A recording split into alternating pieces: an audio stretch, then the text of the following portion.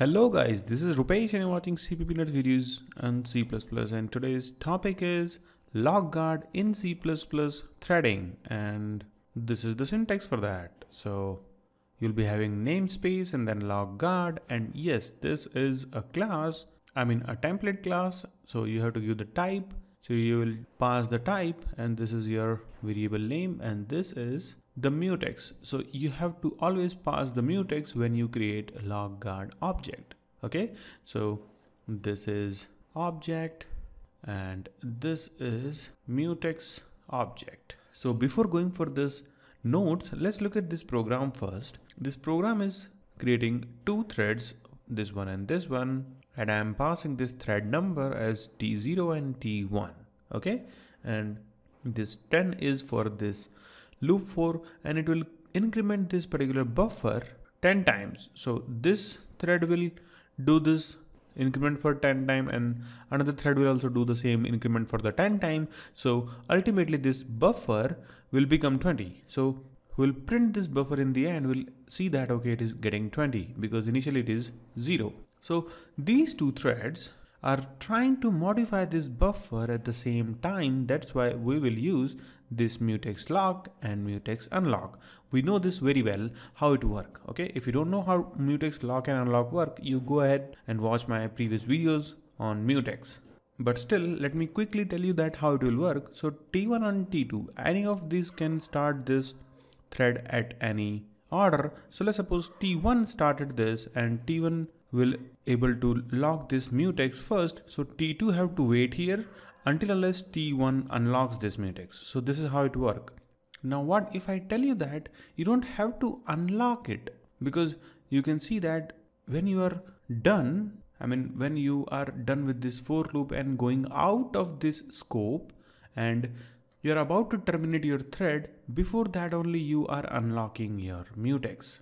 And the moment you started this thread, you locked it. So Instead of this lock and unlock, you can use this lock guard which will do this.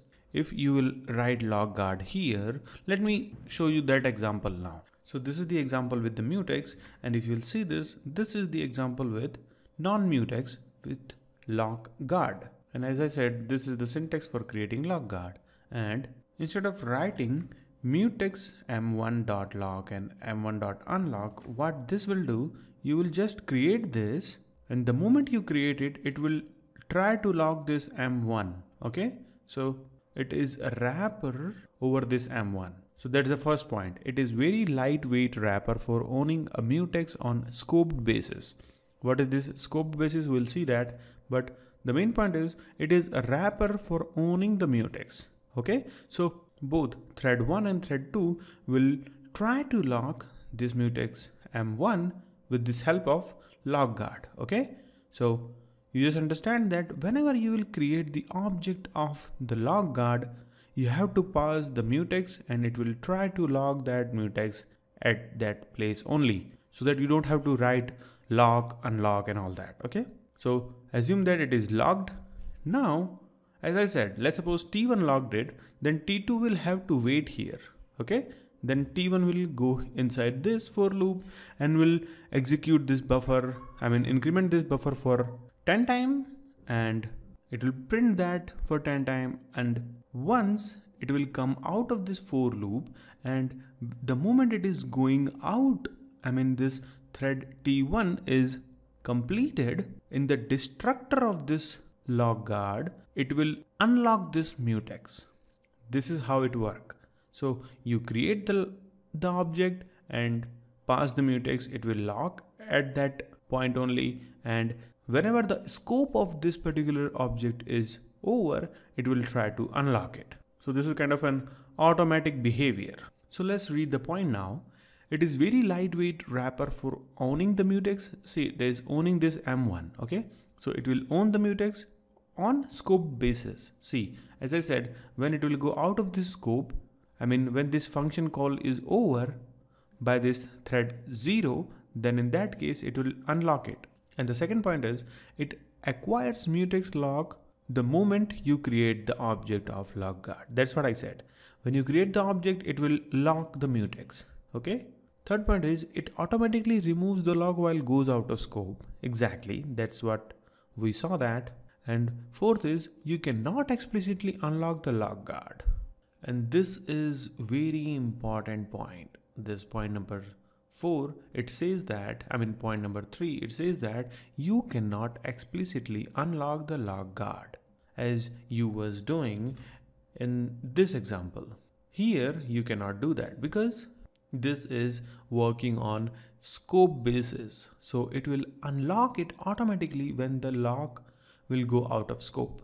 And it will go out of scope when this boundary will hit because this lock was created in this scope okay? Starting and ending curly braces. So this is direct to this function.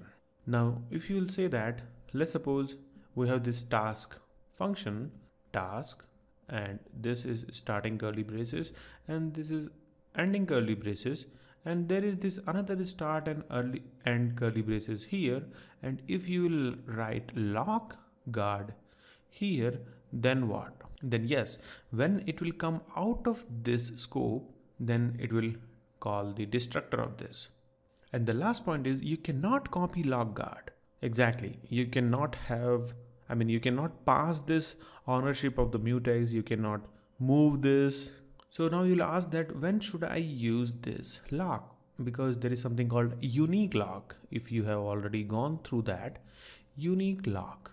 People are confused like when should they use this one and this one? So actually you can use this when you want to give an explicit message to the viewer of your code that after owning this mutex i don't want to release this mutex until unless the scope is finished. So it will tell you the user that okay you wanted the full scope. I mean you wanted this mutex alive till the full scope wherever it was created okay? I mean wherever this object was created lock object. And about this unique lock we will see in the next video. So let's run this and sum this up. So I have compiled it compiled successfully. Now I will run this. See t0 started it and t1 will start with 11 because buffer was incremented till 10 by thread 0 you can see this okay and if you don't know how all these work, you please go ahead and watch my previous videos on threading and watch it from the beginning so that you don't have any gap. And don't be confused that T1 is written first, so T0 is started first. No, even T1 can start first. Let me try to give you this example. I will run this again and again and will see, see, see, see, see this just before this. See, this time I was running so many time and this time see this T1 started first and then T2 started okay sorry T1 started first and T0 started after that I should change this order okay but you understood right so T1 is created later but T1 was created first and T0 was created later. So I guess you would have enjoyed my video. Thanks for watching guys and don't forget to hit the like button if you like the video. Don't forget to hit the like button. It would help me a lot. I'll see you in the next videos. Bye bye.